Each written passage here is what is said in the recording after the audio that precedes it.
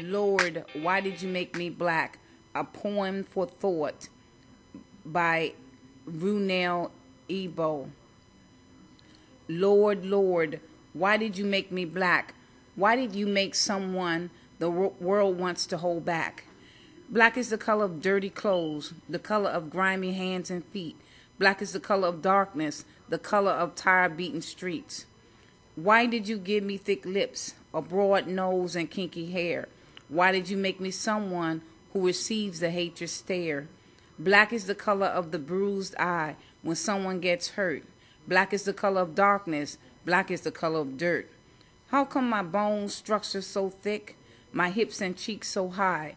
How come my eyes are brown and not the color of daylight sky? Why do people think I'm useless? How come I feel so used? Why do people see my skin and think I should be abused? Lord, I just don't understand what it is about my skin. Why do some people want to hate me and not know the person within? Black is what people are listed when others want to keep them away. Black is the color of shadows cast. Black is the end of the day. Lord, you know my own people mistreat me, and I know this just ain't right.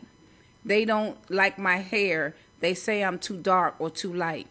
Lord, don't you think it's time for you to make a change? Why don't you do redo creation and make everyone the same? God answered. God answered.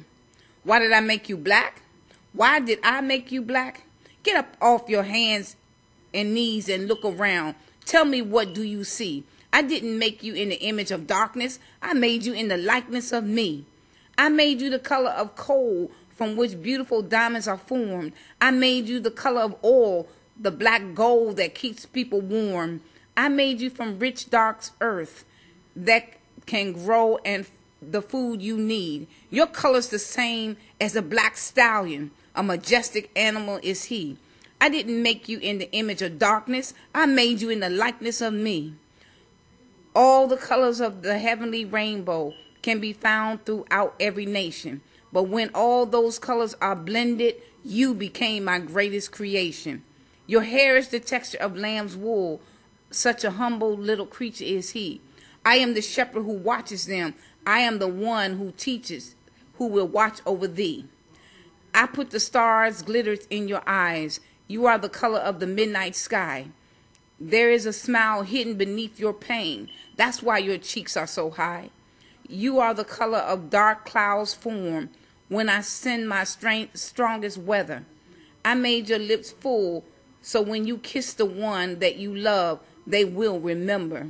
Your stature is strong, your bone structure thick to withstand the burdens of time. The reflection you see in the mirror, the image that looks back is mine. Lord, why did you make me black? By RuNell Ebo.